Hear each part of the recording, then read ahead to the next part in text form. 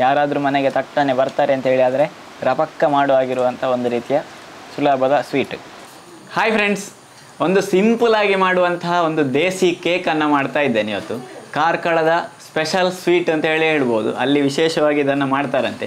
ಹಾಗೆ ಅದನ್ನು ಯಾವ ರೀತಿಯಾಗಿ ಮಾಡೋದು ಅಂತೇಳಿ ಇವತ್ತು ನೋಡ್ತಾ ಇದ್ದೇವೆ. ಸಿಂಪಲಾಗಿ ಎಲ್ಲರಿಗೂ ಮನೆಯಲ್ಲಿ ಮಾಡುವಂತಹ, ಎಲ್ಲರಿಗೆ ಸಿಗುವಂತಹ ಇಂಗ್ರೀಡಿಯೆಂಟ್ಸನ್ನು ಬಳಸಿಕೊಂಡು ಮಾಡುವಂಥದ್ದು. ಗೋಧಿ, ಹುಡಿ, ಬೆಲ್ಲ, ಮತ್ತು ನಮಗೆ ಬೇಕಾಗುವಂಥದ್ದು ಗೇರು ಬೀಜ, ದ್ರಾಕ್ಷ ಇತ್ಯಾದಿಗಳು ಬೇಕಾಗುವಂಥದ್ದು. ಎಲ್ಲರ ಮನೆಯಲ್ಲಿ ಕೂಡ ಇರ್ತದೆ. ಹಾಗೆ ಅದನ್ನು ಮಾಡೋದು ಹೇಗೆ ಅಂತೇಳಿ ನೋಡುವ. ಬನ್ನಿ. ಒಲೆಗೊಂದು ಬೆಂಕಿ ಮಾಡಿ. ಉರುಳಿ ಇಟ್ಟು ಶುರು ಮಾಡುವ ನಮ್ಮ ಕೆಲಸ. ಗೇರು ಬೀಜ ಮತ್ತು ದ್ರಾಕ್ಷೆಯನ್ನು ತುಪ್ಪ ಹಾಕಿ ಹುರಿಯುವುದು.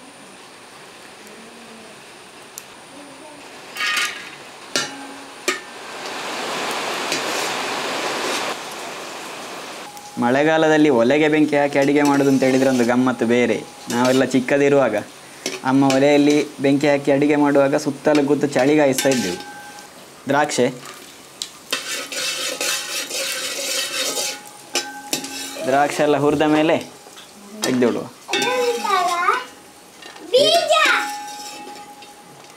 ದೇಸಿ ಕೇಕ್ ಮಾಡಲಿಕ್ಕೆ ನಾನಿಲ್ಲಿ ಒಂದು ಕಪ್ಪಿನಷ್ಟು ಗೋಧಿ ಹುಡಿಯನ್ನು ತಗೊಂಡಿದ್ದೇನೆ. ಇದೇ ಕಪ್ಪಿನಲ್ಲಿ ಅರ್ಧ ಕಪ್ಪಿನಷ್ಟು ತುಪ್ಪವನ್ನು ಹಾಕಿ, ಇದನ್ನು ಚೆನ್ನಾಗಿ ಕೆಂಪು ಮಾಡಿ ಹುರಿಬೇಕು. ಮೊದಲಿಗೆ ತುಪ್ಪ ಹಾಕಿ ಹುರಿದುಕೊಳ್ಳುವ.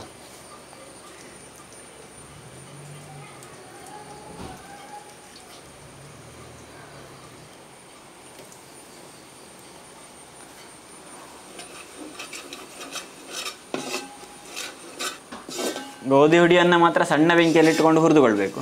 ಒಳ್ಳೆ ಕೆಂಪು ಆಗಬೇಕು ಮಾತ್ರ. ಗೋಧಿ ಹುಡಿಯನ್ನು ಹುರಿಲಿಕ್ಕೆ ಎಷ್ಟು ತುಪ್ಪ ಬೇಕು? ಅಷ್ಟೇ ಹಾಕಿಕೊಂಡಿದ್ದೇನೆ. ಸ್ವಲ್ಪ ತುಪ್ಪ ಉಳಿಸಿಕೊಂಡಿದ್ದೇನೆ. ಅದನ್ನು ಸ್ವಲ್ಪ ಮತ್ತೆ ಹಾಕಿಕೊಳ್ಬೋದು, ಬೆಲ್ಲ ಎಲ್ಲ ಸೇರಿಸಿದ ಮೇಲೆ. ದೇಸಿ ಕೇಕ್ ಮಾಡಲಿಕ್ಕೆ ನಮಗೆ ಬೇಕಾಗುವಂಥದ್ದು ಎರಡು ಕಪ್ಪಿನಷ್ಟು ಬೆಲ್ಲ. ಗೋಧಿ ಹುಡಿಯನ್ನು ಯಾವ ಕಪ್ಪಿನಲ್ಲಿ ಅಳತೆ ಮಾಡಿದ್ದೇವೆ? ಅದೇ ಕಪ್ಪಿನಲ್ಲಿ ಒಂದಕ್ಕೆ ಎರಡರಷ್ಟು ಬೆಲ್ಲ. ಎರಡು ಕಪ್ ಬೆಲ್ಲಕ್ಕೆ ಒಂದೂವರೆ ಕಪ್ಪಿನಷ್ಟು ನೀರನ್ನು ಹಾಕಿಕೊಂಡು ಕರಗಿಸಿ ಸೋಸಿ ಸೇರಿಸಿಕೊಳ್ಳುವುದು.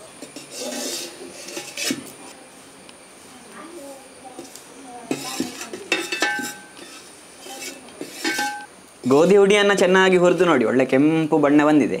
ಇದೀಗ ನಮಗೆ ಕರಗಿಸಿದಂತಹ ಬೆಲ್ಲವನ್ನು ಹಾಕುವಂಥ ಸಮಯ. ಸೋಸಿ ಸೇರಿಸಿಕೊಳ್ತೇನೆ.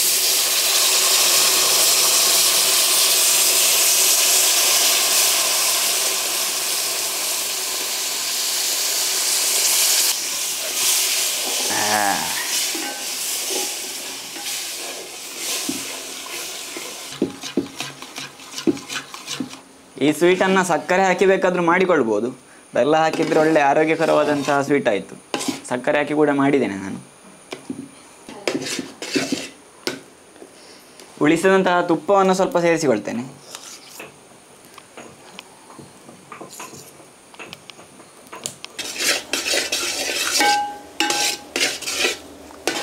ಬೆಲ್ಲದ ನೀರು ಹಾಕಿದ ಮೇಲೆ ಒಂದು ಕಾಲು ಗಂಟೆ ಆಗುವಾಗ ಈ ರೀತಿಯಾಗಿ ಗಟ್ಟಿಯಾಗ್ತದೆ. ಇಷ್ಟಾದಮೇಲೆ ನಾವು ಹುರಿದು ತೆಗೆದಿಟ್ಟಂತಹ ಗೇರು ಬೀಜ ದ್ರಾಕ್ಷಿ ಎಲ್ಲ ಉಂಟಲ್ಲ, ಇದನ್ನು ಇದಕ್ಕೆ ಸೇರಿಸಿಕೊಳ್ಳೋದು. ಒಟ್ಟಿಗೆ ಏಲಕ್ಕಿ ಕುಟ್ಟಿ ಹುಡಿ ಮಾಡಿಕೊಂಡಿದ್ದೇನೆ, ಅದನ್ನು ಕೂಡ ಈಗಲೇ ಸೇರಿಸಿಕೊಳ್ತೇನೆ.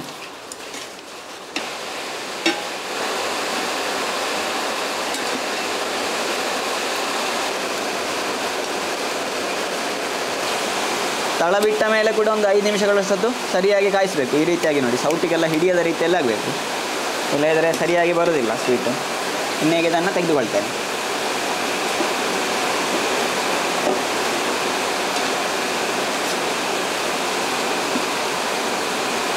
ಸ್ವೀಟ್ ತೆಗೆಯುವಂತಹ ಪಾತ್ರೆಗೆ ಕೂಡ ತುಪ್ಪವನ್ನು ಹಾಕಿಕೊಂಡಿದ್ದೇನೆ. ನಮಗೆ ಅದು ತೆಗಿಲಿಕ್ಕೆ ಸರಿ ಬರಬೇಕಲ್ಲ? ಕೊನೆಯಲ್ಲಿ ಸರಿಯಾಗಿ ಲೆವೆಲ್ ಮಾಡಿಕೊಂಡ್ರೆ ಆಯಿತು. ಮತ್ತು ಪಾತ್ರ ಕೂಡ ನೀವು ತೆಕ್ಕೊಳ್ಳುವಂಥದ್ದು ಸ್ವಲ್ಪ ಬೌಲಿನ ರೀತಿಯಲ್ಲಿ ಕೇಕಿನ ಶೇಪಿನಲ್ಲಿರುವಂಥ ಬೌಲು ಪಾತ್ರವನ್ನು ತೆಕ್ಕೊಂಡ್ರೆ ಅದಕ್ಕೆ ಸರಿಯಾಗಿ ಬರ್ತದೆ. ಮೈತ್ರೇಯಿ ಗುರುಕುಲಂ ಅಂತೇಳಿ ಉಂಟು. ವಿಟ್ಲದಲ್ಲಿ ಸಾಲೆತೂರಿನ ಹತ್ರ ಇರುವಂಥದ್ದು. ಅಲ್ಲಿ ಈ ರೀತಿಯಾಗಿರುವಂಥ ಸ್ವೀಟ್ ಮಾಡ್ತಾ ಇದ್ದಂತೆ ನನ್ನ ಅಕ್ಕ ಅಲ್ಲಿ ಓದಿರುವಂಥದ್ದು, ಎಸ್ ಎಲ್ ಸಿ ವರೆಗೆ. ಆಗ ಅಲ್ಲಿ ಈ ರೀತಿಯಾಗಿರೋ ನನ್ನ ದೇಸಿ, ಸ್ವದೇಶಿ ಕೇಕ್ ಅಂತ ಹೇಳ್ತಾ ಇದ್ರಂತೆ. ಹಾಗೆ ಮಾಡಿ ಕೊಡ್ತಾ ಇದ್ರು ಅಂತ ಹೇಳಿ ಅಕ್ಕ ನನ್ನ ಹತ್ರ ಹೇಳ್ತಾ ಇದ್ರು. ಇದೀಗ ನಮ್ಮ ಸ್ವದೇಶಿ ಕೇಕ್ ಸರಿಯಾಗಿ ತಣ್ಣದಿದೆ ಇನ್ನೀಗ ಇದನ್ನು ತೆಗೆದುಕೊಳ್ಬೇಕು. ಇಲ್ಲಿ ಒಂದು ಬಾಳೆಲೆ ಎಲ್ಲ ಹಾಕಿ ರೆಡಿ ಮಾಡಿದ್ದೇನೆ. ಇದನ್ನೀಗ ತೆಗೆದುಕೊಳ್ಳುವ ಸರಿಯಾಗಿ ತಣ್ಣದ್ರೆ ಪಾತ್ರದಿಂದ ರಪ್ಪ ಸ್ವಲ್ಪ ಬಿಟ್ಟು ಬರ್ತದೆ.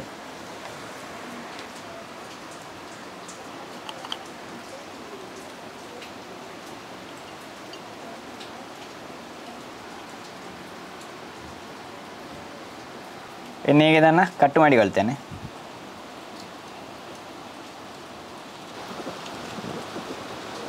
ಕೇಕ್ ಮಾಡೋದು ಅಂತ ಹೇಳಿದ್ರೆ ಬೇಕ್ ಮಾಡಿ ಮಾಡುವಂಥದ್ದು ಅಂತ ಹೇಳಿ ಲೆಕ್ಕ ಆದರೆ ಇದು ಆ ರೀತಿಯಾಗಿ ಅಲ್ಲ. ಸ್ವಲ್ಪ ವೆರೈಟಿಯಾಗಿ ಮಾಡುವಂತಹ ಕೇಕ್.